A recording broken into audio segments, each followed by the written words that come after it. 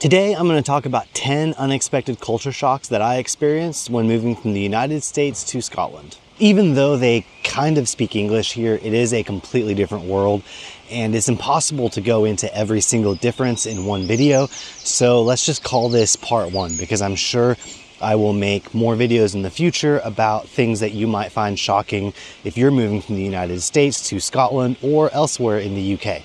Let's start by saying hello.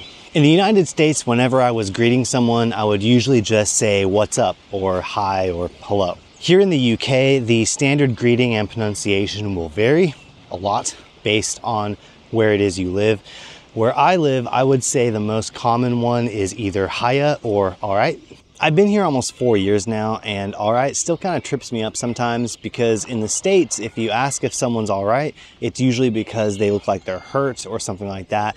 Whereas here, it's just a standard greeting, and they're not particularly asking you if you're actually all right. The typical response would be, all right, ta, or if you're having a particularly bad day, you might just say, living the dream. Number two is that trash is everywhere, or as you'd call it here, rubbish. Now, I'm not sure if it's actually more here or if it's just more visible because everything here is smaller and you're not kind of just trapped in your car the whole time driving everywhere like you would be in the States. But I at least feel like I see a lot more rubbish here. And I think there are, well, the two main reasons for it. I live on the west coast of Scotland and we get a ton of wind. I would say that overall the worst part about our weather is the wind. And when it comes to rubbish, in the United States, your rubbish, everywhere I've ever lived or ever heard of, rubbish is collected once a week. Whereas here where I live, your rubbish bin is only collected once every three weeks. Same goes for your multiple recycling bins like your paper and cardboard bin, your plastic bin, all of them are basically alternating and every three weeks you would have your bin collected. I constantly have rubbish in my garden that is not mine. And even though there are rubbish bins at, I would say almost every bus stop and very regularly in town, they're almost always full when I see them. So they're not collected often enough. And then you add in the wind with those rubbish bins that are overflowing. Well, you get the idea. If you're coming to the UK, especially if you have small children, just be aware. The rubbish is only collected every three weeks, at least in my council. And I'm sure you can imagine how bad it is when you have an entire bin completely full of dirty diapers or nappies, as they call them here, sitting outside in the summer heat for three weeks before being collected. It's not the most pleasant smell in the whole world. And number three, tap water is amazing. In the United States, the tap water is for the most part disgusting and unsafe to drink. I'm sure most of you have probably heard about what's happening with the water in Flint, Michigan, and what's been happening for at least a decade now. And while that might be an extreme scenario, I would say the vast majority of the US does not have safe drinkable tap water. Most Americans will just buy a whole bunch of plastic water bottles or they'll use one of those like Brita filters for filtering all of their drinking water. When I first moved here, I bought a water filter because that's what I always had to use in the States. And I probably should be embarrassed by this, but it took me probably about almost six months before I really tried the tap water. And I wish I would have sooner because it is amazing. In the Glasgow area, the water is fairly soft because of the low mineral content in the area. And I know Glaswegians would say it's the best tap water in the whole world. I couldn't really say if it's the best in the world, but it's definitely fantastic and the best that I've, I've ever had. If you're moving somewhere like London, I've heard their water isn't as good, but it should at the very least be safe to drink, unlike in the United States, where the tap water frequently is dark and literally smells like mold. Number four is that you have to pay for bags at shops. You know how in Aldi you have to bring your own bags or pay for bags? Well, it's like that here in every single shop. If you forget to bring your own bag, that's fine, but they by law have to charge you a minimum of 10 pence per bag. I would say for the most part, you're looking at about 20 to 40 or 50 pence per bag, maybe a pound if you're getting one of those really fancy reusable ones, but it is something to look out for when you move here. Also, I've seen some Americans talk in these Facebook groups about bringing over your own bags when you move. Don't save the space because they are incredibly cheap to buy your own. And you will ultimately end up like in the States where you have a drawer full of a whole bunch of old plastic bags. It'll be the same way here. You'll have a whole bunch of reusable bags from all the times that you went to the shop and forgot to bring it with. Number five is that sales tax is included, but not always. One of the most infuriating things about shopping in the United States is that you never know exactly how much you're going to have to pay for your items until you go check out. In the US, none of the prices include sales tax, and the sales tax amount can vary not just from state to state, but also from city to city. There are times where you could buy the exact same item that's the exact same price from two different stores that are literally across the street from each other and pay a different amount in each store because that street is the county line where it changes to a new city or something like that. It's insane. Even essential items like food, baby products, hygiene products, in a lot of places in the States, they will still have the full amount of sales tax on them, whereas here they don't have any sales tax or VAT, value added tax. It's not really a huge issue anyways, you don't really notice it because here the price includes the sales tax, except when it doesn't. There are places here where the price does not include sales tax, but it is primarily places that are geared towards businesses.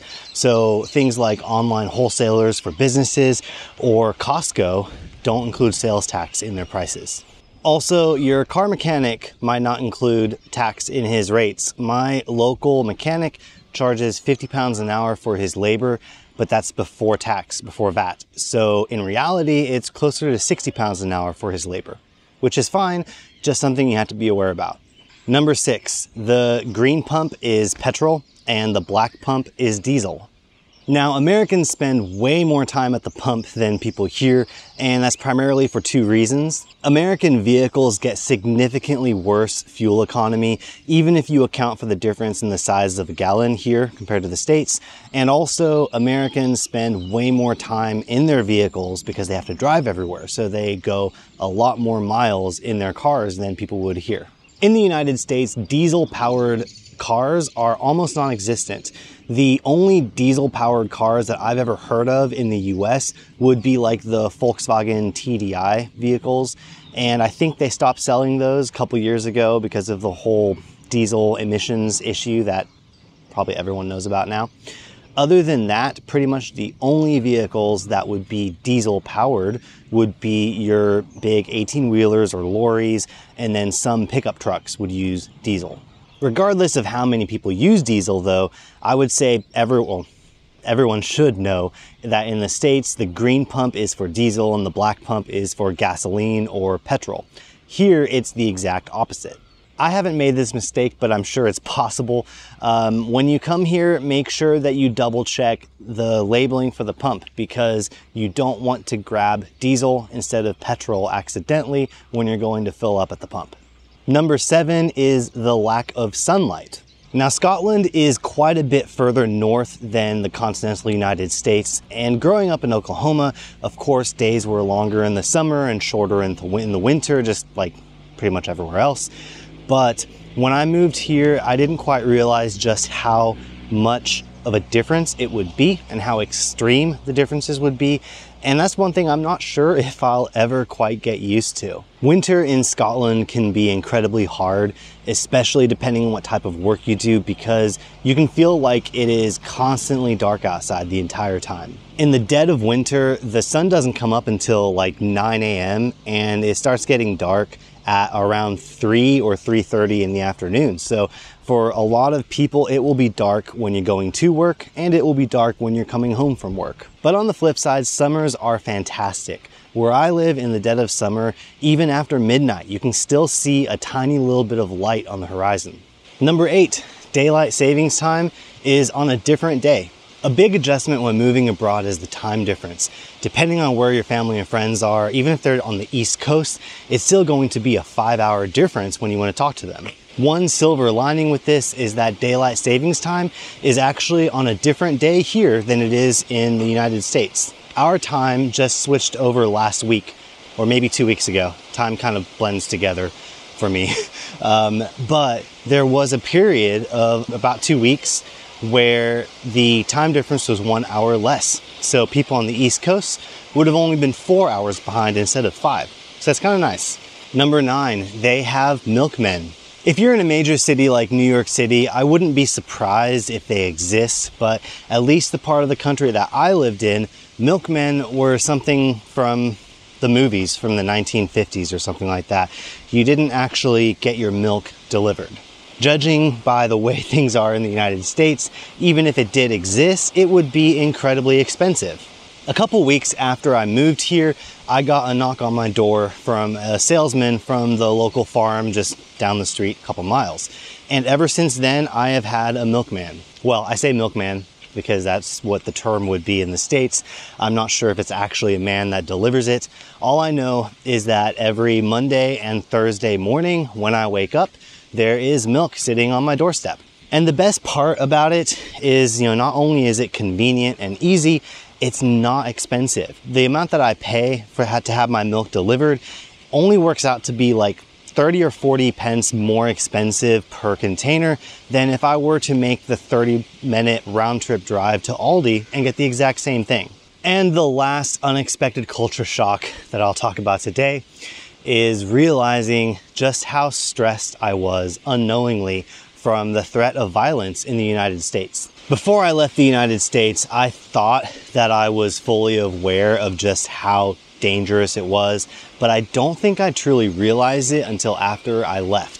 There might be a better analogy to use, but you know that analogy where if you put a frog into a pan of room temperature water and then slowly bring it to a boil, it won't realize the danger that it's in until it's too late. I think that you can only truly realize the danger in the United States until that threat of danger is removed. Here in Scotland, I never have to worry about my kids getting shot when they go to school. I'm not going to have to grab my kids and run out of the grocery store because someone walked in with a gun, or cut a coffee shop date short because someone came in and was sitting across the room with a gun strapped to their hip.